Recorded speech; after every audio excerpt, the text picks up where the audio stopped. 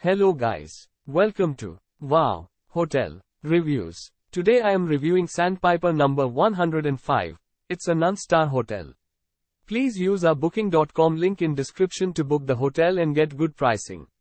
Sandpiper number 105 has accommodations in Princeville. The property is around 1.4 miles from Hideaway Beach, 1.6 miles from Puu Poa Beach and 24 miles from Lydgate State Park. The property is non-smoking throughout and is located a 19-minute walk from Sea Lodge Beach. The hotel will provide guests with a fridge, a dishwasher, a coffee machine, a bath or shower, free toiletries, a TV with cable channels and DVD player.